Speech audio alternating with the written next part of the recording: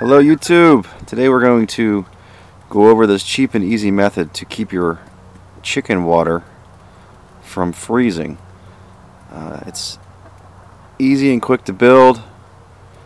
It should be under $20 to do so and I'll show you how it works and how well it works. Just to give a little background, I did have a watering system that goes into the coop here and what it is is just a PVC pipe with an aquarium pump an aquarium heater inside and just runs constantly to keep it from freezing. Uh, the, issue is that the pump, the pump, the heater has died. And I came out here one day and it was all frozen and it actually broke the pipe. So instead of investing in another heat element, I decided to try this method and it's been working great. Um, uh, I'd say the temperature goes down to about 5 degrees at night and this uh, tin watering can here actually stays unfrozen. Um, depending on the wind and how cold it really is, we've had weather down under zero uh, and it did freeze a little bit, not completely. They were able to peck to the bottom and get to the water.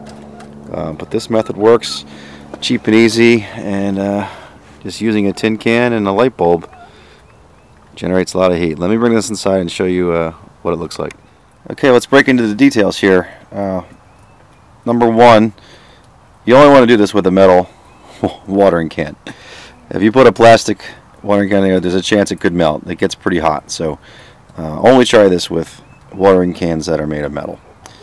Uh, number two, and I'll link below uh, to some of the parts that you might want to get. I just had this tin can laying around the house wife didn't want anymore so I used it but you can buy them of course on Amazon or whatever for like ten dollars. Um, and inside uh, is the lighting fixture. Um, I will link to a, part below on Amazon that you can get for like five dollars. And pretty much all you else you need is a cord that you will cut open and I'll show you that in a second. Let me bust this open. Okay what we have here is the light fixture itself. Um, this is an old one. I just had laying in the garage. Uh, the part on Amazon I'm linking to is much smaller than this. In fact, you can just put all the wires inside.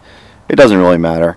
Just uh, when you slice open this cord and pull this apart, you just want to use electrical tape to uh, make those connections.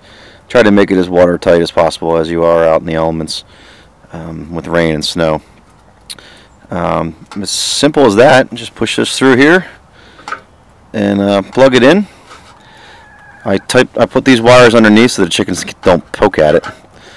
Um, the one on, the, the link on Amazon, you can probably put the wires just right inside, and uh, even tighten this up and make this airtight so wind doesn't push the hot air out of there. Actually, it's pretty hot right now.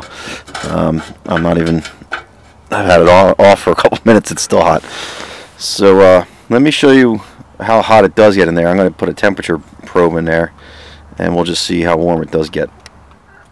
Okay, it uh, it got so hot in there that it actually uh, kind of fried the display on my temperature probe here.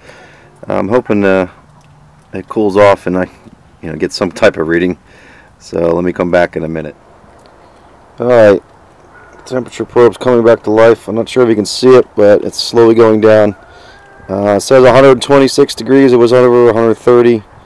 Um, so that's how hot this 60 watt light bulb produces that much heat. It's, it's pretty amazing. Um, so all you got to do is have a tin can about two and a half, three inches thick. Drill a hole in it. Put this in there. Close this lid. It's still warm here.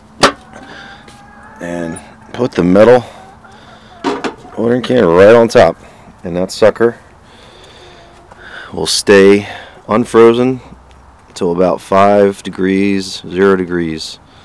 So that's about it. It's really that simple. Under 20 bucks. Give it a whirl. Let me know how you do. Until next time, YouTube. See ya.